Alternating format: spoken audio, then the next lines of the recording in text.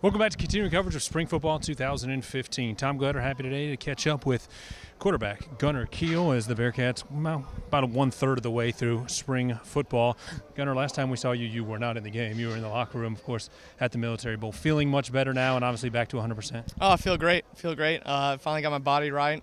Uh, feel a lot better than what I did during the game and during the season. So, uh, feel good that injury bug obviously chased you a little bit last season and chased you out of a few games. Have you done anything different here in January and February as you go through the spring to try to prepare for your second full-time season at quarterback? Oh yeah, oh yeah. I mean, our strength our strength staff's done a great job. I mean, Coach Walker and Coach Riedel, Coach Keg, Coach Smith, and Coach Neal. I mean, those guys got my body right and feeling good, and uh, our uh, our training staff did a great job. I mean, uh, Bob and, and Dan did a great job of, of getting my body right. I mean, and and I've, I've, I've set up a little schedule of, of eating good and uh, getting on a healthier diet and getting my body right and, and getting my, uh, my, my core and my, and my back a lot stronger. So I'm feeling good and, and, and my body's getting right.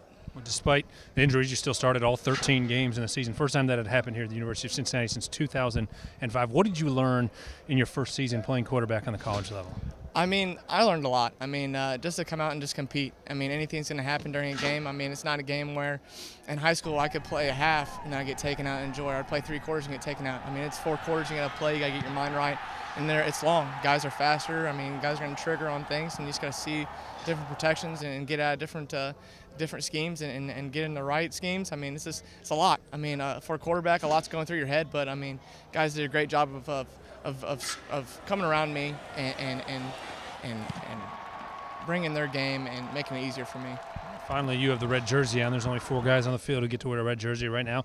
Those are the captains. You will be the captains for the season. That's how Coach Tuberville set it up for the season. What does it mean to be one of those four guys that you know was voted on by your teammates and is relied upon for that leadership? Oh, it's great. I mean, it's it's a dream come true. Honestly, I mean, before the season started, I put that was one of my goals was to be a captain for for this team, and, and to be voted by the by the guys on the team is is something special. I mean, I've, I've, I've earned these guys respect, and uh, I'm gonna keep I'm gonna keep uh, leading our team and and doing uh, doing positive things around the community of Cincinnati. All right, Gunner, almost a pleasure to catch up. Glad to see you're healthy. I know the appreciate fans are as well. You. Thanks Thank for your time. Awesome, appreciate it. All right, that's Gunner Kiel. I'm Tom Gelehrter here at the Sheakley Athletic Center as we continue our coverage of spring football 2015 on Bearcats TV.